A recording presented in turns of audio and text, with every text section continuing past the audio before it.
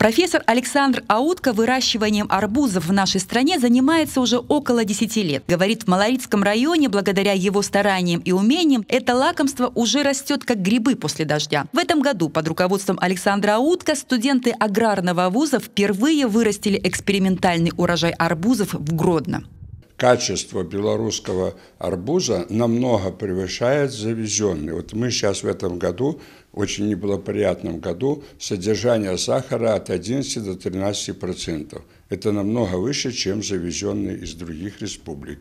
А содержание нитратов где-то в 6 15 раз ниже, чем предельно допустимые концентрации. На Гродненщине, говорит Александр Аутко, для арбузов вполне подходящий климат. Главное – правильная технология выращивания и оборудования. К слову, таких специализированных машин, которые есть на вооружении в аграрном университете, нет во всем мире. Например, этот универсальный агрегат одновременно может выполнять более 10 операций. Нарезает грядки, локально вносит биопрепараты, осуществляет уход за посевом, пропалывает сорняки и многое другое другое. Поэтому с каждым годом производство бахчевых здесь планируют только наращивать. Несмотря на то, что в этом году отечественная полосатая ягода дважды попала под удар сильного урагана, она выжила и дала неплохой урожай. При этом отечественный арбуз отличается рядом преимуществ по вкусу и качеству. Он даст фору любым зарубежным аналогам.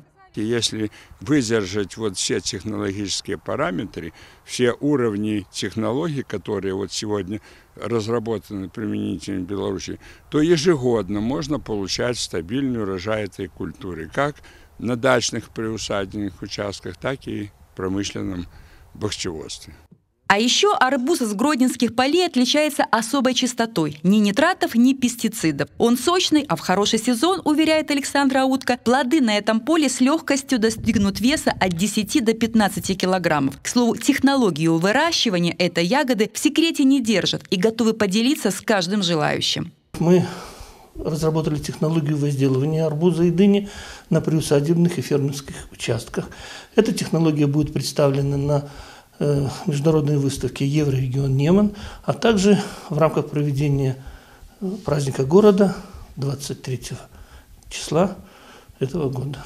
Первый урожай гродненских арбузов достанется учителям и студентам. Из более 10 сортов, которые были посажены на этом поле, наилучшим образом проявили себя Триумф, Икар и Рамзан. И вполне возможно, что уже совсем скоро плод с сочной мякотью в Гродно будут собирать не только студенты, но и фермеры и обычные дачники. Алла Нычко, Дмитрий Пастернак, Новости, Гродно+. плюс.